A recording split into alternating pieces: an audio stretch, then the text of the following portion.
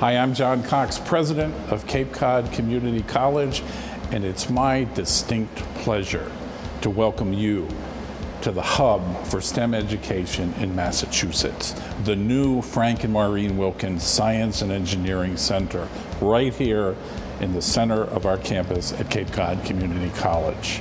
The Frank and Maureen Wilkens Science and Engineering Center at 4Cs sets the standard for community college science facilities across Massachusetts and is an invaluable resource for all of our Cape and Islands communities as we train and educate the next generation of STEM professionals. This two story, 37,000 square foot building joins science, technology, engineering, and math programs together in a highly visible, modern learning space designed to support the unique instructional needs of each program. Centrally located on our campus, literally the center of campus, the building pairs modern laboratories and maker spaces with open facilities where students can gather and collaborate. This includes state-of-the-art teaching labs for biology, microbiology, chemistry, environmental science, physics, engineering, and health sciences. Designed to be LEED certified, the building has been sustainably constructed to preserve energy and highlight the unique land the college sits upon.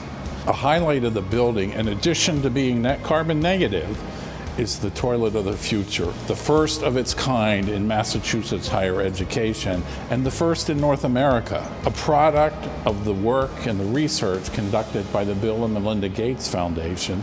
The toilet of the future operates with no sewer lines, conserving water and energy. The facility is open for use and can also be used as an educational tool in teaching sustainability and potentially opening new markets for wastewater treatment. The center is not only open for our Cape Cod Community College students, but it also serves students in our local K-12 schools, as well as through opportunities with the Cape Cod Regional STEM networks and new partnerships with businesses and industry. The Frank and Maureen Wilkens Science and Engineering Center truly, truly is a resource for our entire Cape and Islands region and beyond. We hope that you have the opportunity to come, visit, see us for yourself, and experience firsthand just how it's shaping the powerful futures of our 4C students and our communities.